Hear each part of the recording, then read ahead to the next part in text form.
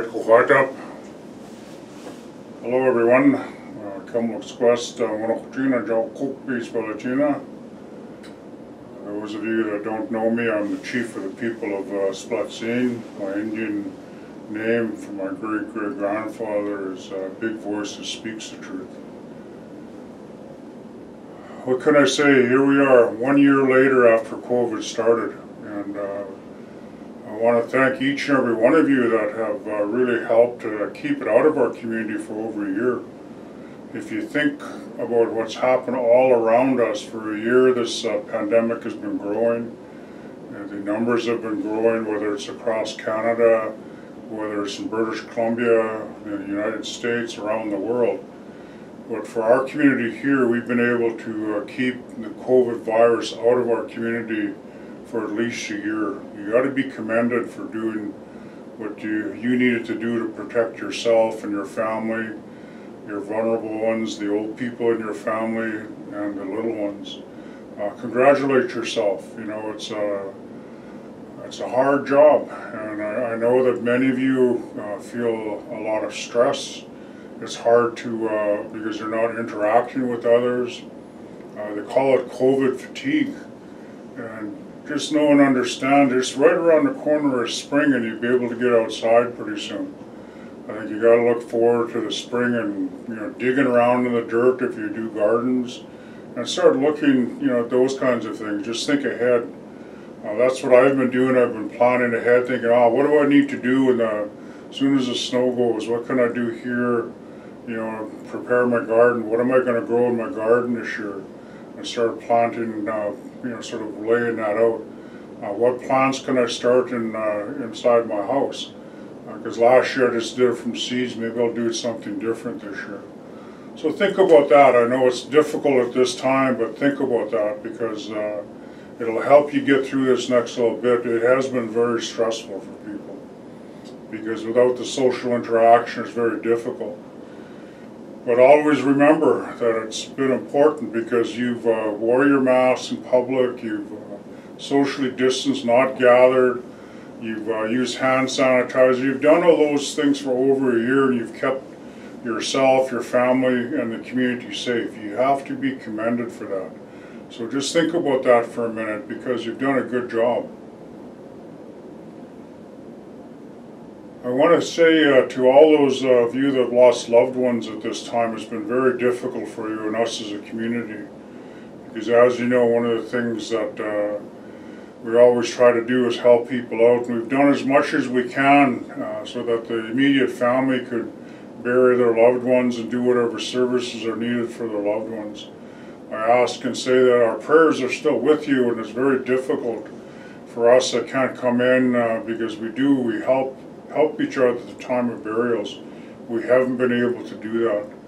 Uh, just know and understand that uh, you're all in our prayers and ask blessings for you and your family as you go forward. I think it's really important at this time that you think about that.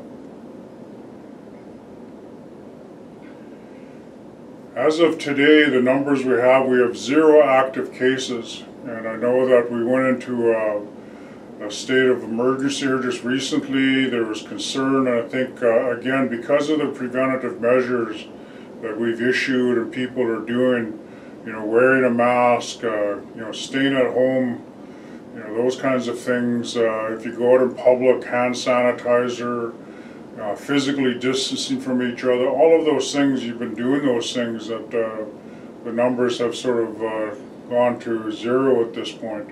So keep that up, you know, and uh, just uh, remember that uh, the public health orders that are in place right now, there's zero gatherings of any kind. And I hope that, I know people are having a hard time. If you've got a big family, it's very difficult because when they talk about your family, it's who's living in your house that that's your immediate bubble and if uh, you allow people into that bubble there's potential for other family members from other communities coming in and bringing that virus into your home so you got to be very very careful and especially for the older ones uh, just understand that uh, just look after yourself and really uh, understand that the uh, preventative measures we're taking today will save lives uh, for tomorrow. Just do that and understand that is very, very important.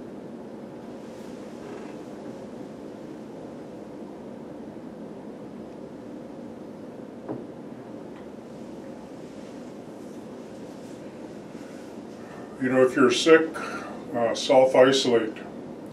You know, and there's a 1-800 line, uh, helpline that we can call. So anything that you need to look at in terms of the actual uh, test or the self-diagnose or self-assessment that they call it, uh, there's different tools available to you online and uh, by phone call. But if you are sick, stay at home. And if nothing else, call the health center. Call the staff there and they'll help you through whatever you need.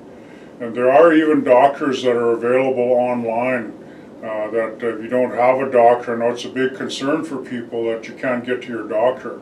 There are resources available. So if you contact our health staff at the health center, they're able to get that information to you. Simply because it's a really an important time in terms of we're going into this next phase, the, the vaccination part, of, and we have to prepare ourselves.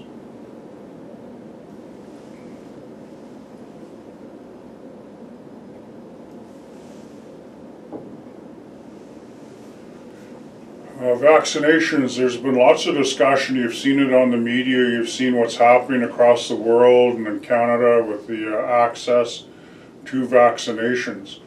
And the first thing I want to say is this, is that uh, if you have any concerns whatsoever, contact your doctor. If you do not have a family doctor, there is a doctor available online. They can actually give you information and answer the questions that you have about taking the vaccine. It's really important you're informed and that you feel really comfortable and you really have to look after yourself in that way. I myself will be contacting my family doctor because of uh, underlying health issues that I have and asking him, is it safe to take the vaccine? Because that's the, the smart thing to do. You can't uh, underestimate what, what may or may not happen. The best thing is get the facts. So if you do not have a family doctor, again, through the health center, there are numbers available, there are doctors available, and you can, I think it's called Dial-A-Doc. I can't really remember the terminology, but it's, you can actually, talk, you know, call a doctor and talk to them. And they'll give you all the information you need to, to do for a vaccination process. And it's really important. Our health uh, team here at uh, Scene has been uh, getting all prepared for the vaccination process. Uh, what they're telling me that we won't get very much notice if it does come into the community like 24 hours. So understand this, that once the vaccines come in, we're going to be sending information out and, and whatever the process is that the health staff has put together, we'll get that information out ASAP and ensure that all those people within the community that are wanting to take the vaccine are able to take it. And our health staff is looking after those that are actually in their homes and be able to do the most vulnerable in their homes. So we're looking at all kinds of different ways we make sure that the vaccine is available to each and every one of you.